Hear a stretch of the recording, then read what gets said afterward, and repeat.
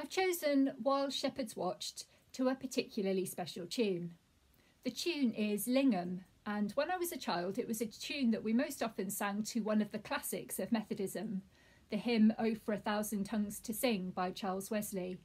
I always loved the tune, especially because at the end of the verse the lines get repeated and the men and the women start singing separately but in a complementary way.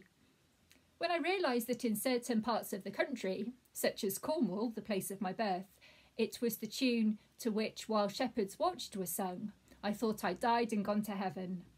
Nowadays, I only ever choose this carol if I can be sure that we'll sing it to the right tune. The carol is very familiar and follows the story of the shepherds. But listen for the tune and enjoy.